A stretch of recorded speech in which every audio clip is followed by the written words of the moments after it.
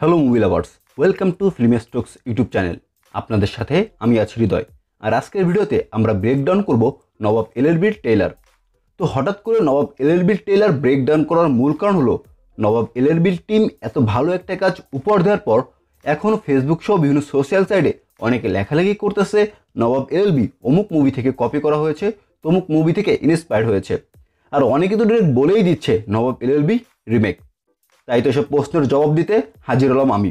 নবাব এলএলবিতে সাকিব ভাইয়ের সেই ফেমাস ডায়লগের মতো। নবাব, অন্যায়ের জবাব। সো বুঝতে পারছেন, একজন সাকিব ভক্ত হিসেবে আজ আপনাদের কাছে তুলে ধরবো Nawab LLB copy inspired remake নাকি একটা স্বতন্ত্র কাহিনী মুভি সো ভিউয়ার্স প্রথমে আসি নবাব এলএলবির সাথে যেসব মুভির নাম উঠে এসেছে। কেউ বলছে নবাব এলএলবি বলিউডের জলি এলএলবি থেকে কপি করা হয়েছে। কেউ বলছে অমিতাভ বচ্চনের পিঙ্ক থেকে ইন্সপায়ার্ড আবার পাকিস্তানি ফিল্ম অ্যাক্টর ইন লয়ের কথা বলছে অনেকে। ভিউয়ার্স আপনাদের জানিয়ে দিই, এই তিনটি মুভির একটি থেকেও কপি করা হয়নি নবাব এলএলবি তবে একটা কথা থেকেই যায়, সেটা হলো স্টোরি সিকোয়েন্স হ্যাঁ আপনারা যারা কন্টিনিউয়াসলি মুভি দেখেন, তাদের কাছে কিছু সিকোয়েন্স ভারতীয় কিছু মুভির সাথে মিল মনে হচ্ছে। কিন্তু ভিউয়ার্স একটা মুভির প্লট যখন সেম হয়, তখন দুটো ভিন্ন গল্প হওয়া সত্ত্বেও কিছু সিকোয়েন্স মিলে যায়, যেটা ঘটেছে নবাব এলএলবির ক্ষেত্রে। এখন আমি নবাব এলএলবির টেইলার থেকে সেই সিকোয়েন্সটুকু আপনাদের কাছে তুলে ধরছি।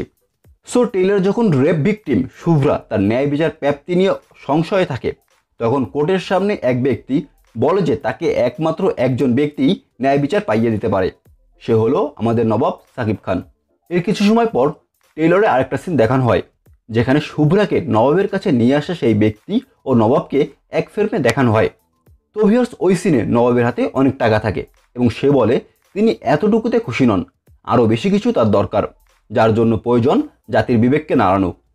এই দুটো সিনের যোগসূত্র করলে আমার কাছে মনে হচ্ছে, নবাব হয়তো একজন টাকা কামানোর মেশিন উকিল হিসেবে থাকবে মুভির ফার্স্ট পার্টে আর পরবর্তী সিকোয়েন্স থাকবে, নবাব তার বিবেকের কাছে হেরে যাবে।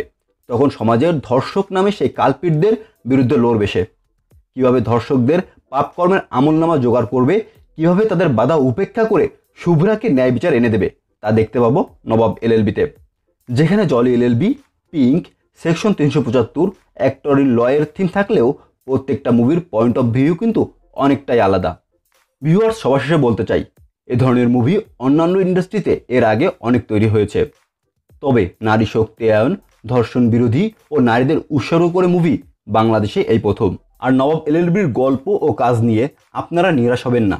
এতটুকু গ্যারান্টি আমি দিচ্ছি। আর ভিডিও শেষ করার আগে আমাদের দেশের এক্সট্রাঅর্ডিনারি ভাই বোনদের জন্য বলছি, ভাইয়া ও আপু, একটা মুভির থিম ও সিকোয়েন্স মিলে গেলেই মুভিটি খারাপ হয়ে যায় না।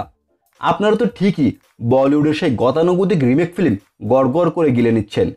সেই তুলনায় আমাদের দেশের বর্তমান প্রেক্ষাপট অনুযায়ী নবাব এলএলবি যথেষ্ট যুগোপযোগী ও ভালো মানের সিনেমা যা এখন সচরাচর নির্মাণ হয় না আমাদের দেশে। প্লিজ দয়া করে ভালো কাজগুলোকে অ্যাপ্রিসিয়েট করেন। সো ভিউয়ার্স এতক্ষণ আমাদের সাথে থাকার জন্য ধন্যবাদ। ভিডিওটি ভালো লাগলে অবশ্যই লাইক করবেন। ভিডিও সম্পর্কে আপনার মতামত কমেন্ট করে জানাবেন। আর ফিল্ম ইন্ডাস্ট্রির সকল খবরাখবর পেতে অবশ্যই চ্যানেলটি সাবস্ক্রাইব করে পাশে থাকা বেলাইকনটি অন করে রাখবেন, যাতে চ্যানেলের সকল আপডেট সবার আগে পৌঁছে যায় আপনার কাছে।